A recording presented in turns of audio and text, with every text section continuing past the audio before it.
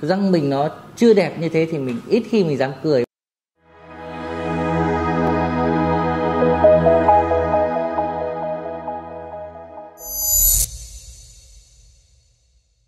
Xin chào tất cả các bạn, chào mừng các bạn đã quay lại với Nha khoa Việt Đức và tôi Thạc sĩ bác sĩ Đỗ Hồng Cuông hôm nay sẽ chia sẻ với các bạn về thẩm mỹ răng sứ và chỉ định của cái thẩm mỹ răng sứ để làm sao chúng ta làm răng sứ an toàn, lâu bền, chắc khỏe và ổn định. Tôi sẽ bật mí về vấn đề này và đồng hành với tôi hôm nay một bạn gái đến từ Đà Nẵng. Bạn có thể giới thiệu về mình được không? Dạ được. Ừ. Mình tên là Thu. Ừ. Mình tới từ Đà Nẵng. Sao nữa? Con có thể cho chú biết là vì sao con muốn đi làm răng không? Trước khi tới đây vì vì sao mà con mong muốn con đi làm răng?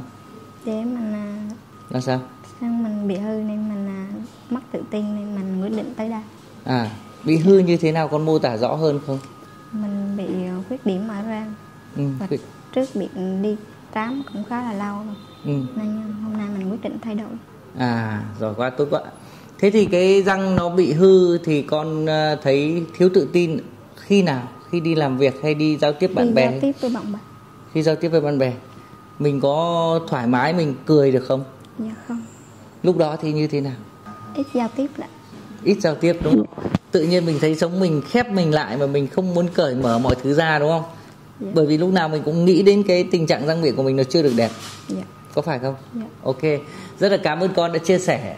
Và một tình trạng răng miệng của bạn thu đó là bạn ấy bị bốn cái răng cửa phía trước hàm trên bị sâu nhiều đổi màu đen và các bạn ấy đã đi chám. Và tuy nhiên thì càng ngày nó lại càng phá hủy ra cho nên nó, nó tương đối là nặng nề. Lát nữa con cũng có thể à, mình sẽ chèn cái ảnh thêm vào cho các bạn xem. Nhưng mà một cái tình trạng bốn cái răng cửa lúc nào hơi cười là phát là thấy bốn cái này nó đập ngay vào cái mắt của cái người đối diện khi giao tiếp. Cho nên là trong trường hợp đó thì không phải riêng bạn thu mà tất, bất kỳ ai cũng sẽ luôn luôn nghĩ trong đầu mình là cái răng mình nó không được đẹp. Cái răng mình nó chưa đẹp như thế thì mình ít khi mình dám cười. Và trong trường hợp giống như bạn thu này thì bạn ấy lại không dám không muốn đi giao tiếp với mọi người. Và sống khép mình vậy thì chúng ta sẽ thay đổi thẩm mỹ nụ cười để chúng ta thay đổi cuộc sống của chính chúng ta. Chúng ta có thể là sau khi đẹp rồi chúng ta có thể là cười thoải mái hơn giao tiếp với bạn nhiều hơn có nhiều mối quan hệ và chúng ta sẽ thành công hơn trong cuộc sống.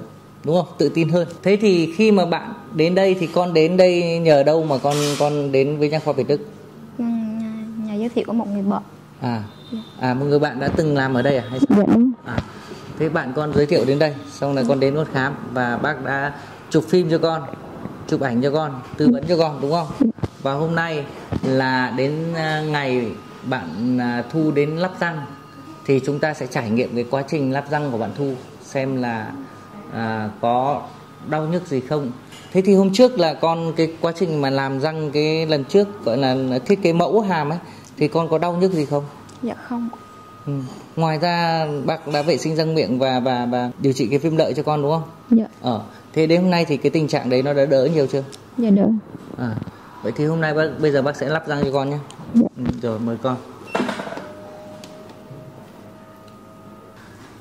Và đây à, là cái tình trạng răng của bạn ấy khi mà bạn ấy à, chưa làm và thiết kế những cái cái này gọi là cái cái cùi răng thì cái răng nó bị phá hủy nó sâu gần hết và khi đó là người ta đã phải làm những cái chốt này để lưu giữ cái răng.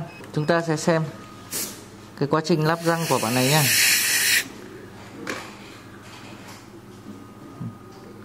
hai.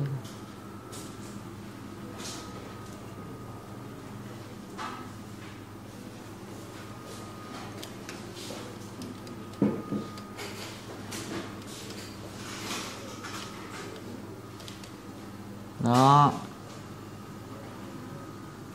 toàn bộ. Con ngậm lại ngậm lại. Cười thử đây bác xem. Đấy, các bạn có thể thấy màu sắc, răng, hàm trên và hàm dưới giống nhau. Rất là đều đều màu. Hình thể rất là đẹp. Từ những cái này có thể chúng ta hô biến một phát là nó đã được như thế này. Và chắc chắn bạn này sau ngày hôm nay bạn về, bạn sẽ cười rất là tươi và rạng rỡ. Chúng tôi cũng à, nói thêm về mặt chuyên môn đối với hàm răng nhé các bạn nên để ý rằng một điều đó là trong cái hàm răng ấy, đối với 6 răng cửa, thì bốn răng phía trước bao giờ cũng màu sắc tương đối giống nhau.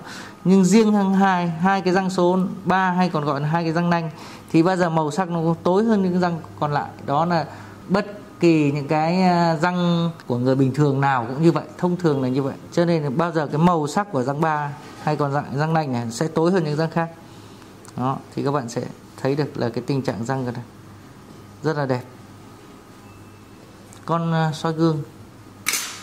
Chụp một cái kiểu ảnh gửi về cho chị Đại xem xem chị ưng không. Để còn gắn luôn nhá gắn rồi là không thay đổi được nữa nhá. Rồi đây. Đấy, con cười đi cười cho bạn chụp ảnh. Cười. Cười hết cỡ đâu. Cười đi. Cười cười hết cỡ cười nhẹ ra nữa nữa đi đừng đừng có soi gương chụp cười hết cỡ nữa đi. Cười sát vào. Răng sát vào. Nữa. Sát máy ảnh nữa vào. Nữa vào. Cười đi. Cười ra cười ra. Đấy đúng rồi. Gửi cho chị đại và chị đã đẹp không? Cười cả đẹp lên thôi. Đấy nhìn nó thay đổi hoàn toàn. Con thấy đổi đổi thay không? Dạ. Tí nữa chú sẽ chụp chú xem gửi cho con cái ảnh trước sau để cho con đăng bài đẹp gọi là đẹp miên man luôn. Và cái quá trình gắn răng cho bạn thu đã kết thúc và tôi xin phép kết thúc cái video ở đây.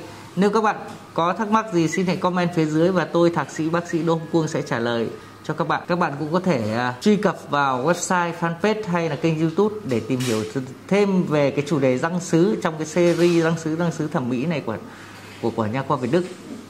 Xin chào và hẹn gặp lại các bạn.